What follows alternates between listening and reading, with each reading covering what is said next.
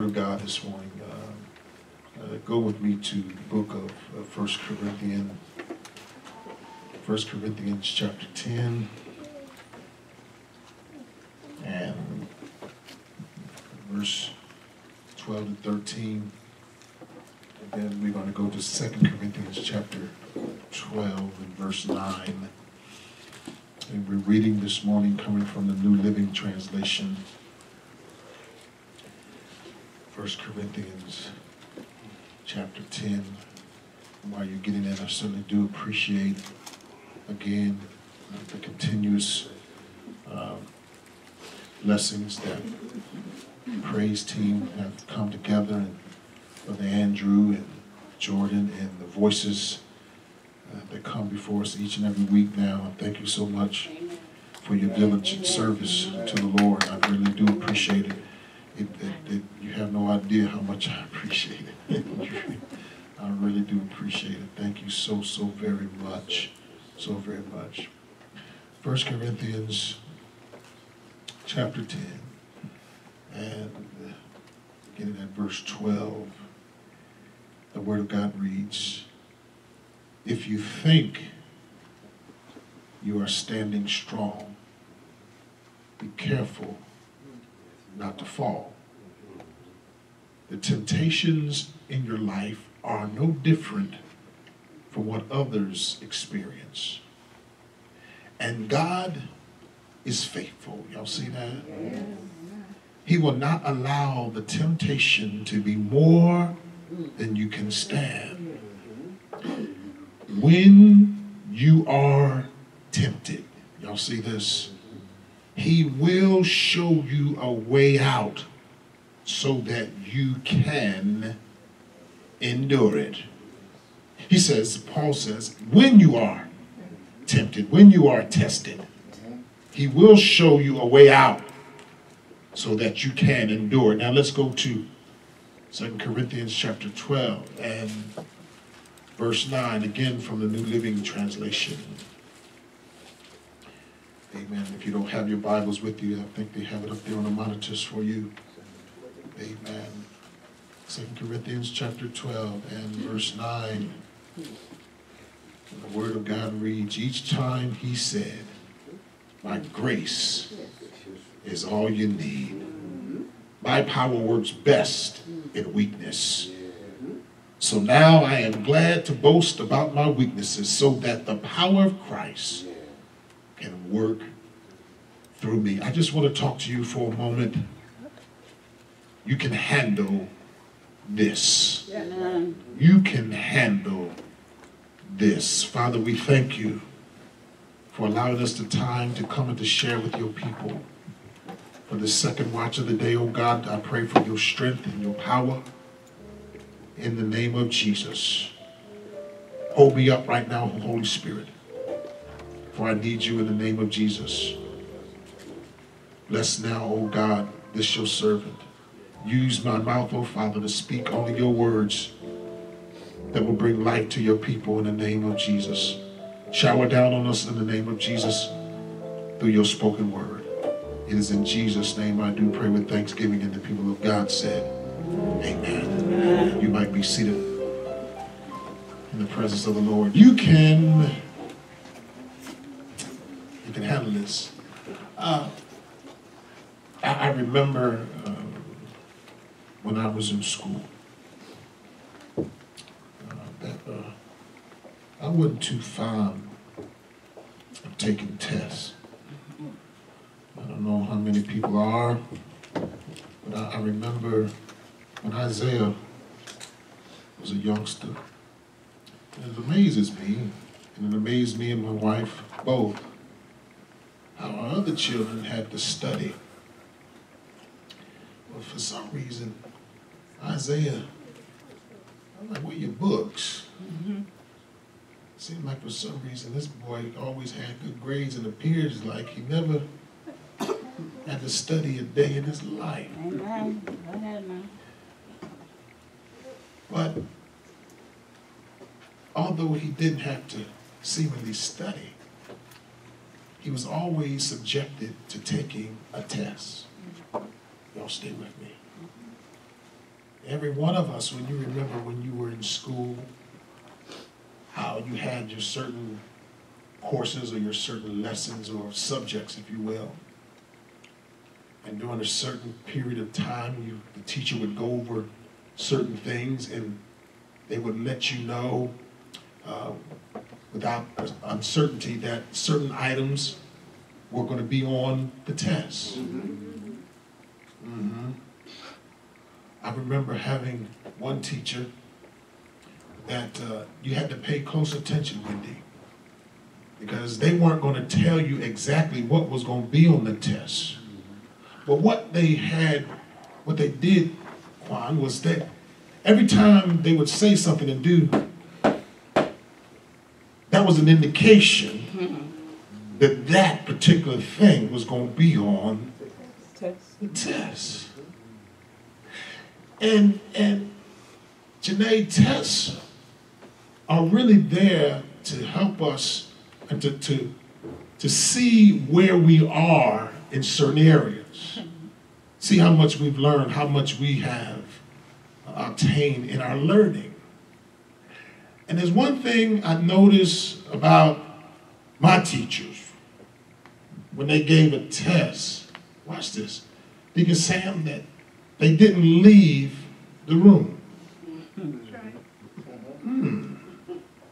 Some people, some people, you, you, you ever, Deja, you ever have a teacher that gave, handed out the test papers and then left out? You do. Yeah, all the time. But how many people cheat? Ah, once that teacher leave the room. See, see, you gotta understand, I'm trying to, I'm trying to make this real practical for you. See, you gotta understand something that when you and I, beloved, go through tests in life, understand that God has already, He's already, watch this, during the course of your life, a course of life, He has given you certain things, certain subjects, if you will. All right, certain certain things that you should have learned to a certain point in your life. Talk to me, somebody. And then after a while, there's a test going to come. But watch you. He's not going to just give you the test and walk out. No, no, no, no, no, no, no. Whoever he's, he's going to give you the test and he's going to stay right there in the room with you. Not for the simple fact that you might cheat because you can't cheat on a godly test, but for the simple fact that when you come up against a rough question or, or something that you don't understand, that the teacher is still right there to answer your question. Amen. Yes, sir. All right. so you can handle this, whatever it is that you're going through.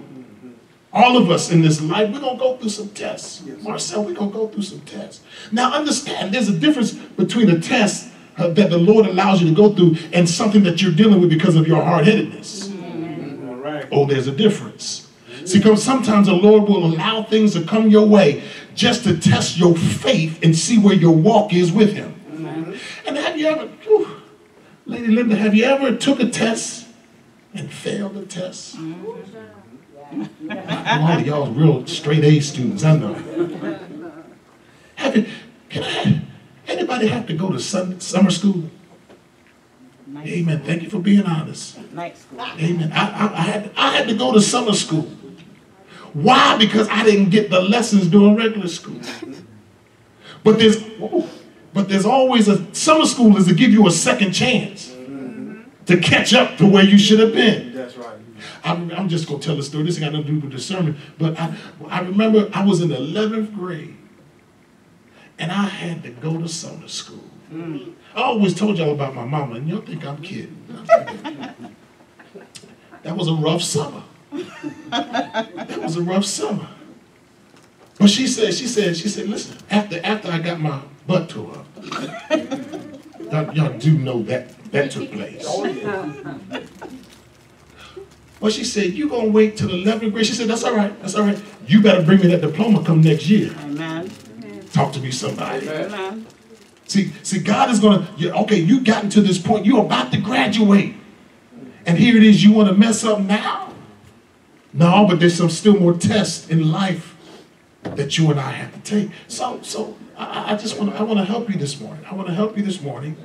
I want to give you five uh, truths, if you will, that you and I must embrace. Five truths that, that I want you to embrace to let you know that you can handle whatever it is that you're going through. Can I help you this morning? Help us. The first uh, truth I want you to know, and the Bible says that no temptation has overtaken you except such as is common to man. In other words, beloved, watch this. You are not alone. You are not the first person to go through what you're experiencing, and guess what? You certainly won't be the last one. All of us, each and every one of us in here, are going to go through some testing periods in our life. And it, it, it, happens, it happens to every one of us. So so listen, don't don't feel like you've been singled out. I, I'm, I, how come sister so-and-so and go, I'm always going through a test. I'm always, the Lord always testing me. That's because you ain't got the lesson right the first time. Mm-hmm. God is not singling you out, but again, then again, he is. Because watch this, those tests come to help to mature you in your faith walk. And if you and I, listen, if you are and I are never tested in our faith, then we think we can just go on and do whatever we can do or want to do. But the Lord said, you and I, we're going to have to go through some tests. We're going to have to go through some tests. And, and you got to understand, listen, your situation, although uh, it may be unique to you, but at the core of it, the net, is just like many others that have experienced it. Amen. All right? And scripture, scripture was written, understand, scripture was written to people who were in many ways just like you and I. They experienced pains just like you and I. They had bad marriages and problems just like you and I. Mm. They had church problems just like you and I. They struggled with, with, with, with things in life. They struggled with children. They struggled with addictions. They all this stuff you look in the scriptures, all of these things took place before. So you and I aren't the only ones to go through. They struggled with sin issues. Mm-hmm. You and I aren't the only ones that go through these things. But understand something, beloved. There is a solution. God has given us a solution, and the solution is His Word. And if we take his word and apply it to our lives, understand something, beloved, that you and I can make it through. Amen. You can get through this if you take his word and apply it. Watch this. And I just I just got finished talking about eating. Right? Tanya, watch this. It's important. It's important.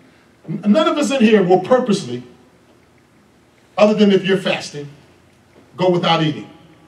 I, am I'm, I'm, I'm going to pick on uh, right here. Um, a couple weeks ago, uh, I was with my family and we, we went to a, a kitty party. Went to a kitty party. And I don't know uh, what uh, they had been doing before then, but Tay and Deja were hungry. and they let it be known that they were hungry. We got to the kitty party and and they had pizza. Teddy said, "Want some pizza?" Now, first of all, when you're hungry, you ain't got no business being picky. you say, "Would y'all like some pizza?" taste said, "What kind?" Negro, you said you were hungry. You better eat that pizza. They said. Would you like a juice? What flavor? Amen. That's right. I'm looking at it, shut up. You're right. But there was something, I don't know, Deja, Deja had said something. Deja said, I'm so hungry. You said, I don't like, she, I mean, she was, she was sick to the point, look, I don't care what y'all do, y'all got to feed me. I had like, I mean, did she not eat all day and then had been gone all day? But she was, she didn't, she didn't make no qualms about her intake. Look, we hungry. And we pulled into one restaurant. They was ready. Matter of fact, the car hadn't even stopped. I thought them opening up the door. they were, they were hungry. But watch this, watch this. There's something, there's something, Marcel, that's on the inside of us that triggers us to let us know when we're hungry. That's right. Isn't it so? Right. So if we have something inside of us that triggers us when our physical man is hungry, we ought to have something in our spirit man that triggers us the same exact way. I'm so hungry for your word, God. Yes, yes, yes, yes. Don't go another place. I got to get to the Word of God. Why? Because I'm hungry. I'm going through some things in my life that I listen, I got to get fed the word of God because the word is the only thing that's going to help me make it through what I'm going through. I can make it, but I need the word. Amen. We're so, and I, I'm, listen, I done lost all that weight. I done gained some of that weight back. That's not a good thing. It's not a good thing. But watch this. If I'm so, I'm just, I'm just talking to me right now. If I'm so concerned about my physical health, which I am, and all of us should be, this should be likewise the same way that we ought to take concern of our spiritual health. Amen. If we know, can I talk to y'all for a minute? If we know, where George go? If we know, uh, okay, since George ain't here, I'll pick on Deacon Farrell. So if he knows that his uh, blood sugar level will go up if he continues to eat a whole bunch of sweets, wouldn't you think? Wouldn't you think he would stop eating or cut out some of the sweets because he know in all probability if he don't cut it out then he could we're not saying it but he could go into a diabetic seizure or coma whatever it is. Mm-hmm. if you know that you need to stop doing certain things why don't we do it you can get through it but you're going to have to make oh this ain't part of my notes you're going to have to make some adjustments all right Yes, there's not, no temptation, no test is common to man. But understand, beloved, you got to make some adjustments in your life. Now, right now, I can't do too much because my back is sore. So that's a real good excuse, ain't it? Mm-hmm. So you think. Mm-hmm. Isn't it something? Hey, how we come up with all kind of excuses to not read the Word of God. All right. But we won't come up with no excuses why we can't put something in our mouths. Mm-hmm. That's right. Shh. Help me somebody. Some of y'all right now, I'm talking about food. Y'all talking about, ooh, what are we eat? Look at her, look at her. She, she woke up. I just looked Amen. Huh? You and I can make it. But the first thing we got to do, first of all, beloved, we got to understand we need the Word of God. We need the Word of God in our lives. Amen. Amen. We, we need the Word of God. We need we need His Word. There's no temptation that's common except for such as common unto man. So the second truth, the second truth I want to give you. Uh, I'm trying to get through this thing. The second truth I want you to understand that you must embrace is you got to understand that God Amen. is faithful. God is faithful. I don't know if we sang this song yet, uh, uh, Andrew, but Hezekiah Walker, y'all know the song, wrote a song. Huh? Faithful. Faithful. Faithful is our God. Says, I'm reaping the harvest God promised me. Taking back what the devil stole from me. And I rejoice today. For I shall what? Recover it all. He's faithful. Any test can be resisted because God will help you to resist it. All right? You got to understand that no Christian could ever deny God's faithfulness to him. Amen. Because the Bible says, watch this, make no mistake about it, in 2 Timothy chapter 2 and verse 13. The word of God says, if we are faithless, he remains what? Faithful. He cannot deny himself. God's very character, brothers and sisters, is at stake. God will always remain faithful to us no matter what we're going through. He will always remain faithful to us. I don't care what you may have done, he will always remain faithful to you. Look at the children of Israel. Disobedient, hard-headed folk, but yet and still he remained faithful to them. Look at David. David, watch this, David had a man killed because he was digging on that man's wife. But what? God still remained faithful. Oh, amen. Amen. Talk to me, somebody. Look at Peter. Peter denied Jesus three times, but yet and still God what? Remained faithful. Hallelujah. Yes, sir. Mm. He will always remain faithful. So don't you dare think that God won't remain faithful to you. He will remain faithful. So there's no temptation that will overtake you that is common to man. God is faithful. And the third, third truth I want you to understand, he will not let you be tempted beyond what you are able. Mm-hmm. He will not allow you to be tempted beyond what you're able.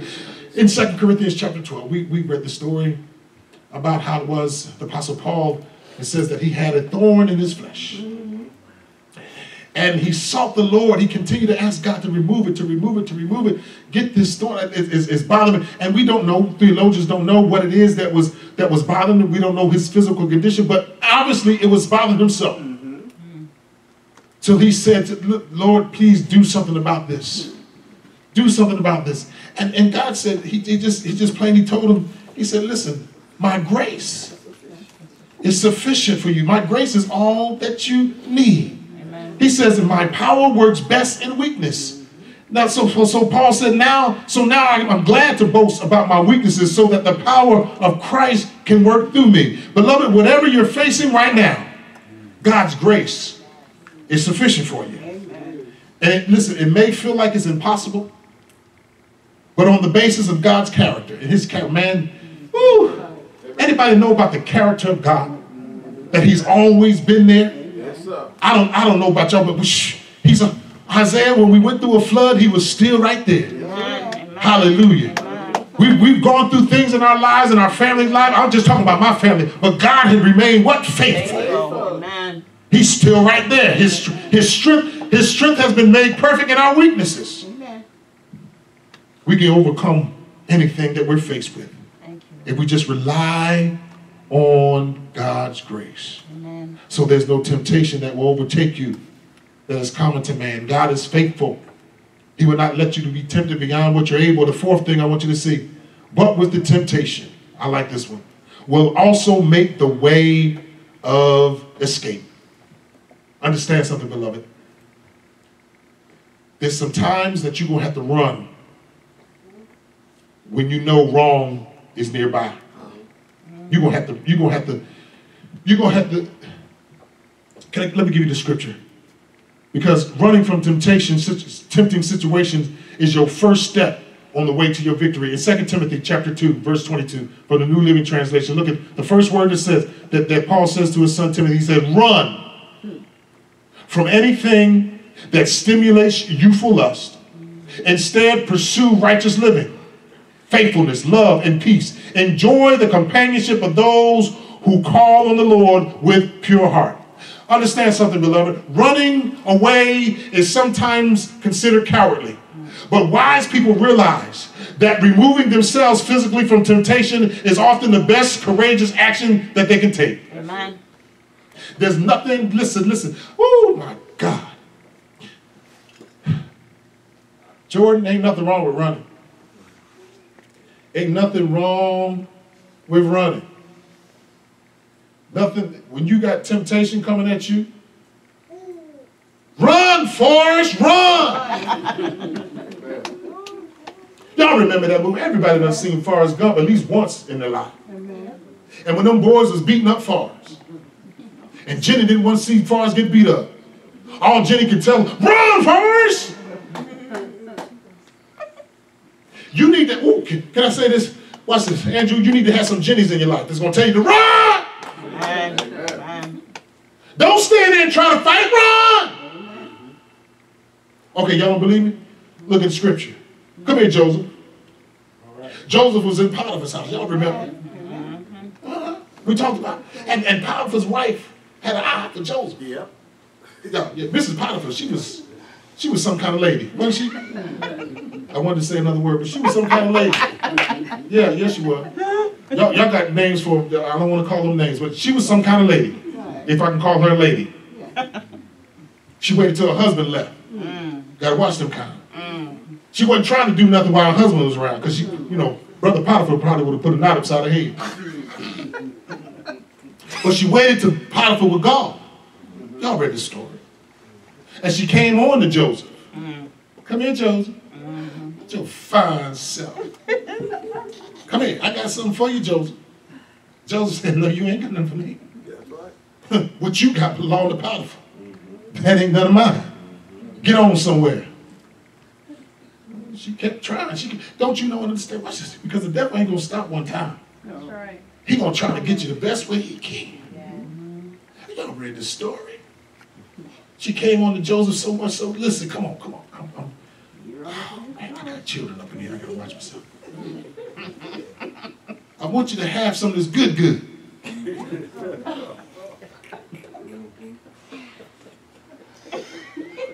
He says, and I paraphrase it, he says, I can't do that. Because first of all, Potiphar has been good to me. Mm-hmm. But most of all, I serve God. Right. And the God I serve, my conscience won't allow me to do that thing. I'm just paraphrasing this for you. Mm-hmm. So he said, listen, no, go ahead on about your business. Mm-hmm. And when the devil really want to grab hold of you, he going to try to do whatever he can. And uh, come here, come here, come here, real quick. Un- unbutton, unbutton that thing, unbutton that thing. Come here, come here, come here, come here, come here, come here, real quick, real quick, real quick, real quick. Turn around. So, so, so Joseph done told her, grab it, grab hold of this right here, grab hold of this. Joseph done told her, she coming at you, boy. She coming at you with all she got. You better get up out of there.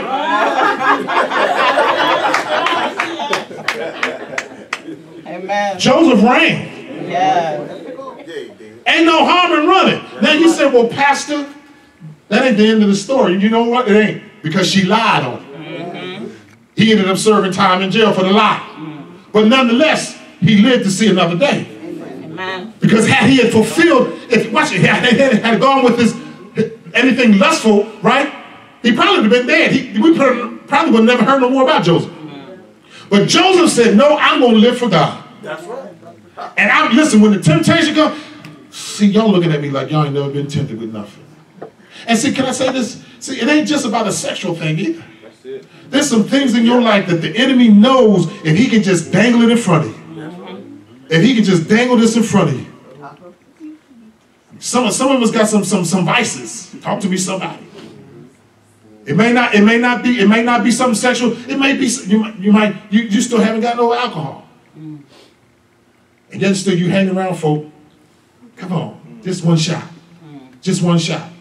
Some of you still dealing with drugs. Come on, just one hit, just one hit. It's, go, it's gonna be all right. Matter of fact, I'll roll it up for you. You gotta say, run, just run.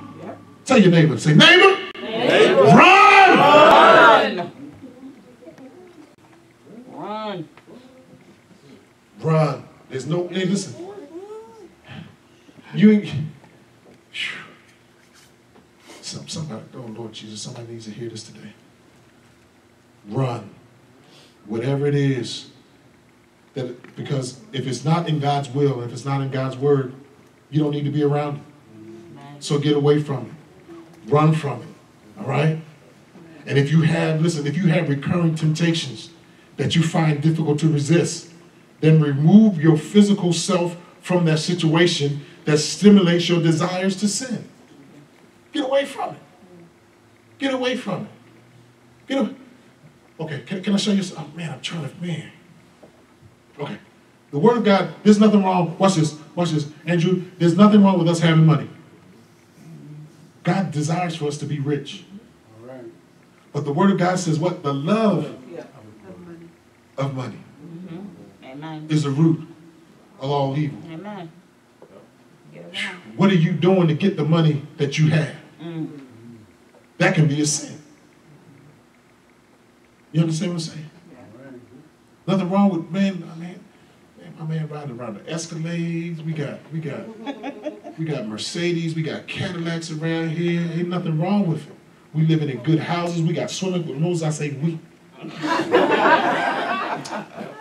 we got swimming pools to swim in. Huh?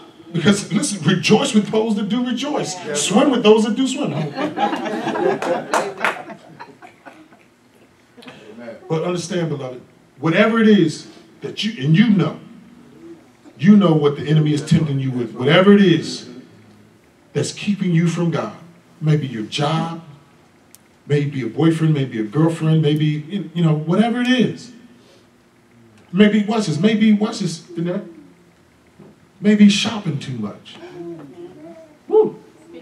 How is that possible, Pastor? Yeah, because the reason why you can't pay your tithe or give your tithe and your offering is because you don't spent all your money at the store for stuff that you don't need. How many of us in here right now got stuff in our closet that we know we can't wear and we ain't probably never gonna wear and we still going out buying stuff? Amen. We haven't even, some of you got stuff with tags still on the, on, on the stuff. And you still going out to buying it. And then when it comes time to giving a love offering in the house of God, you can't give it because you don't gave it to Macy's. You don't gave it to whoever you wherever you don't shop at. I don't shop at Macy's pants. I start shopping Marshalls and Ross. So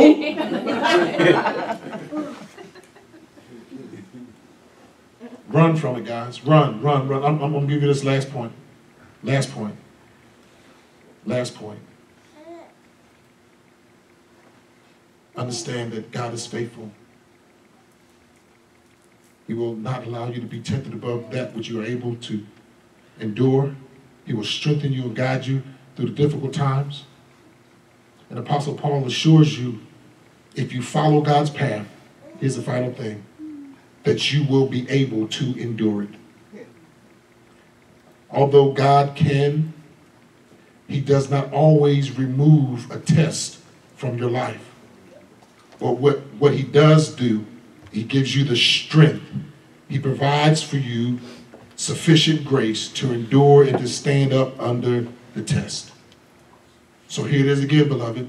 When you and I experience tests in our lives, don't say that you can't handle it. You're going through something that you can't handle. Yes, you can. I just told you here that you can handle it. There's no test that comes your way that you and I can't handle it if we just follow the guidelines that we just laid out here before you today. Stay in your word.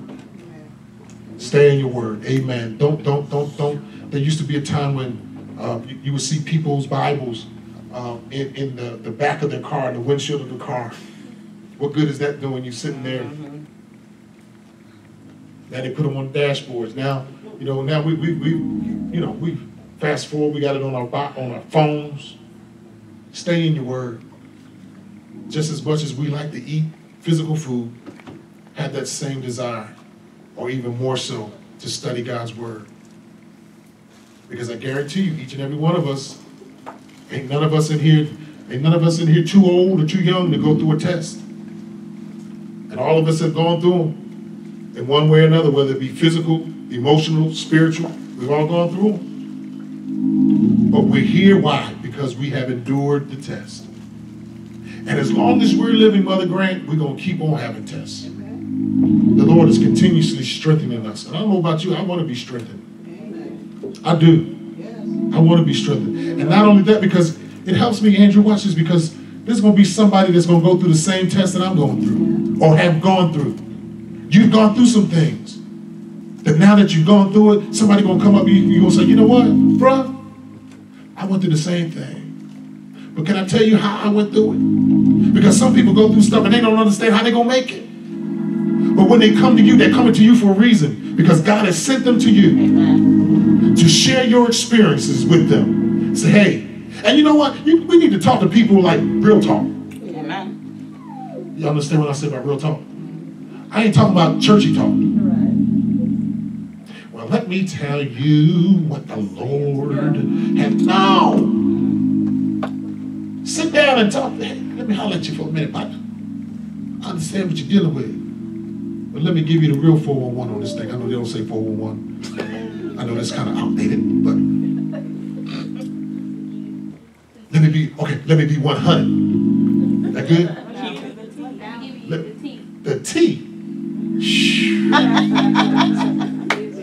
Let me give you the T.